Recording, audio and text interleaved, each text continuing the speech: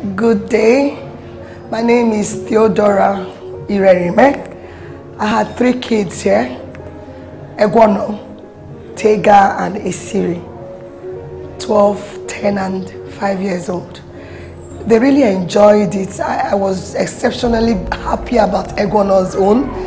The improvements and the way she's appreciating using the laptop and the PC now, then they enjoyed it. One, another thing I noticed that really worked for me was their interest, uh, less in cartoon. Now if they pick up the phone and looking for what to code, how do I go to, especially Siri? She wants to do Scratch Junior, mommy have an assignment, I want to do Scratch Junior, and she keeps trying out a whole lot of things, and I'm so happy about that. I, I was thinking that maybe two weeks was too short, but I see that wasn't really too short. The only thing is that they're thinking of how to take it a step further, like Tega was always disturbing me, mommy I have an application for you, and I'm like, which application?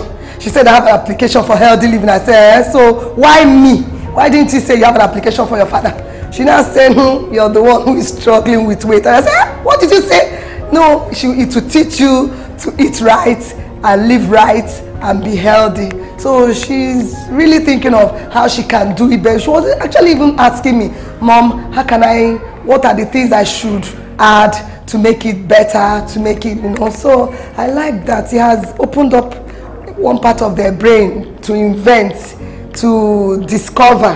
And I really am so happy with it. Thank you very much.